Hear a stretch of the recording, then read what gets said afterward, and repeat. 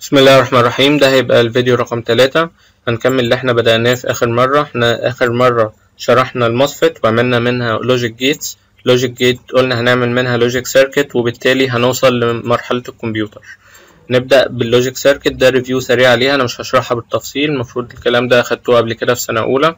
لو عايزين review سريع عليه الإنترنت مليان material آه ده logic circuit adder ال adder بيجمع رقمين. إزاي دلوقتي الإنسان عامة يقدر يجمع أي رقمين يفهمهم؟ خمسة زائد ستة ايا كان أي رقمين يقدر يجمعهم لكن الكمبيوتر ما يقدرش يفهم يعني إيه خمسة ويعني إيه ستة.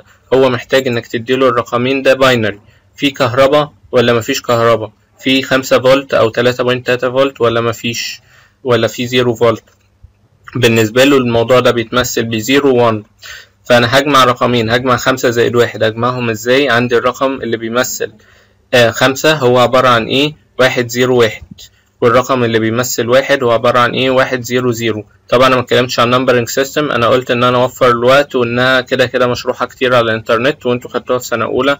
فلو في مشكلة فيها يا ريت تراجعوها تاني من أي material طيب آه هتجمع الرقمين دولت. هتلاقي إن المفروض يطلع لك zero one one. ده رقم ستة. طب تعالى نشوف هيجمعها إزاي. هنحط الرقم الأولاني ونحط الرقم التاني. أهو. هنجمع واحد زائد واحد زائد واحد zero وال carry واحد. واحد هيتجمع هيبقى عليهم هيطلع واحد وال carry zero. هنحط هنكمل واحد زائد zero هيطلع واحد وال carry zero في الآخر. يبقى ده الرقم اللي أنا عايزه في الآخر. أنا كده جمعت رقمين في الكمبيوتر هو فهم يعني إيه خمسة ويعني إيه ستة. تمام؟ في دايرة تانية comparator comparator هو عايز يعرف الرقم. أنا مثلا عارف إن خمسة بتساوي خمسة. يعني هما الرقمين دولت زي بعض. هو يعرف إزاي؟ ما يقدرش يعرفها كده يعني واحد zero zero واحد ده بيمثل رقم. هل هو الرقم ده محتاج دايرة logic circuit إنها تفهمه؟ فده comparator طبعا في حاجة اسمها 4 bit في حاجة 5 bit أو ايا كان في 8 bit دي حسب الرقم اللي عندي. ممكن يبقى الرقم 8 bit فأنا رقم كبير فأنا محتاج 8 bit comparator ده 4 bit comparator زي ما أنتم شايفين بيجمع ال A's ديت مثلا A 0 A 1 A 2 A 3 ده عبارة عن الرقم ده. يعني واحد تتحط في A 0 0 يتحط في A 1 0 يتحط في A 2 وهكذا. والرقم ده يتخزن في البي في البي 0 بي 1 وبي 2 وبي 3 في الآخر لو الرقم ده قد الرقم ده هيطلع لي هنا في ال equal واحد. يبقى كده ال processor فهم إن آه الرقم ده قد الرقم ده. من ال circuits برضو المشهورة ال flip flops دي برضو خدتوها في ال digital logic ال flip flops الفكرة منها إنها أول جزء من ال memory. هو الجزء اللي إحنا اتكلمنا عليه ال RAM وال ROM والكلام ده هي بيتكون من flip flops الفكرة منها إيه؟ أنا بخزن data بحط ال data اللي أنا عايزها هنا. وبعد كده بضيف clock إحنا اتكلمنا على clock قبل كده وهنعيد عليها. إيه لما أعمل كده ال output بتاعي هيبقى هو ال data هنا. هيبقى يفضل متخزن عندي. طيب تعالى نشوف الكلام ده. دولت 8 bit دولت 8 bit. أنا عايز أحط الرقم ده واحد واحد واحد في ال memory آه هعمل كده إزاي؟ هضيف أول حاجة ال clock. ال clock إحنا قلنا بتشتغل rising edge أو falling edge ايا كانت بس دي clock تفضل تتكرر. وقلنا اتكلمنا على السرعات بتاعتها ولسه في فيديوهات قدام هنتكلم عليها أكتر. ونفهمها بشكل أفضل. طيب أول لما نعمل كده إيه اللي هيحصل؟ في الثانية اللي فيها ال rising edge هيبدأ إن ال data اللي كانت هنا تتنقل هنا. تمام.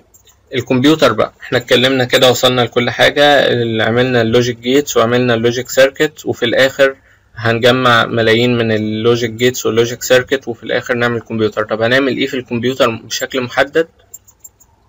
تعال نشوف. هنعمل جزء من ال processor. جزء من ال processor اسمه arithmetic and logic unit أو ALU آه ال arithmetic logic unit بتعتبر بتعمل كل العمليات اللي أنا شرحتها قبل كده. هي الفكرة منها كلها بدخل لها رقمين.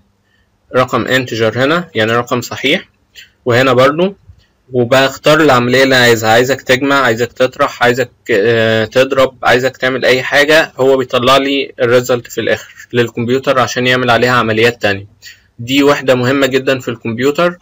طيب لو أنا عندي رقم كسر عايز إن أنا أعمل له أي عملية من العمليات ديت. في حاجة تانية اسمها FPU أو Float Point Unit.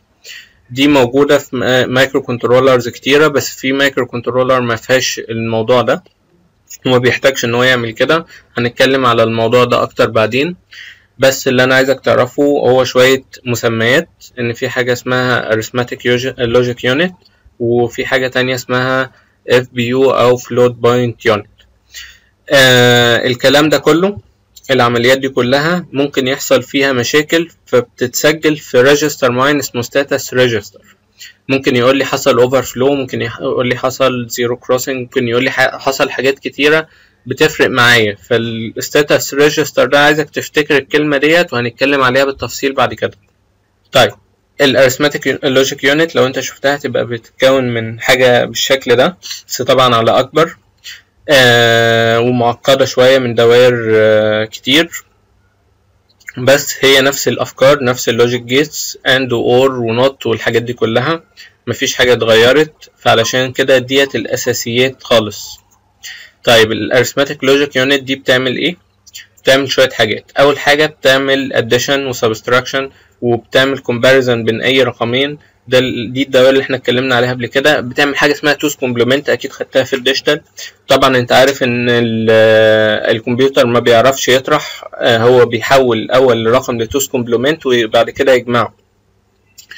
بتعمل increment وبتعمل decrement دي حاجة اسمها arithmetic operation طيب تاني حاجة هي بتعملها بتعمل حاجة اسمها bitwise logical operation بتعمل إيه؟ بتعمل anding أو oring يعني تدخل لها رقمين. وتقول له اعمل لي and للرقمين دولت أو oring أو هكذا. فتبدأ تعمل الكلام ده كله. bit shift operation مش هتكلم عليها دلوقتي علشان ما اتش الموضوع شوية.